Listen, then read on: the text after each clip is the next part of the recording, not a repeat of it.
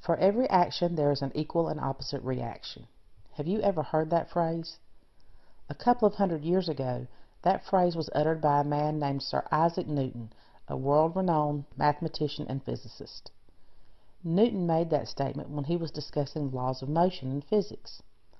Isn't it amazing that here we are, hundreds of years later, and that one statement can be used to explain debits and credits in accounting? Before we get too involved in the discussion of debits and credits, let's learn a few basics. Every business has various transactions that occur each day. Each of these transactions are examined by accountants and recorded in the accounts that they affect.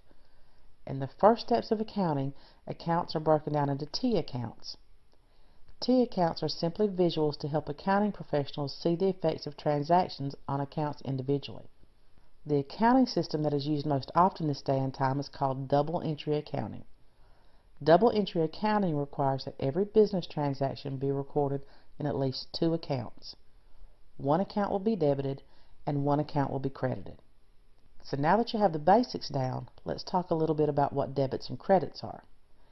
Debits and credits are both forms of notation that are used in accounting to keep the balance in accounts.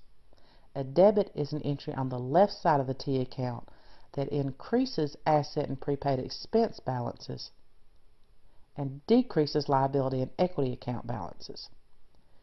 A credit, the opposite of a debit, is an entry on the right side of the T account. It increases liability, expense, and owner's equity accounts and decreases asset and prepaid expense accounts. It can seem a little confusing to understand debits and credits, so let's look at an example. Peggy owns a dressmaking shop. It's taken her two months, but she's just finished an elegant wedding dress for a customer. The customer paid a $200 deposit on the dress before Peggy made it. She comes in and picks up her dress and pays Peggy the $400 that she still owes on the dress. The total cost of the dress is $600. Using this example, you can see that Peggy was given $400 today for a balance due on a dress. That $400 is a debit to the cash account. This debit increases the cash balance by the $400. Cash is an asset account.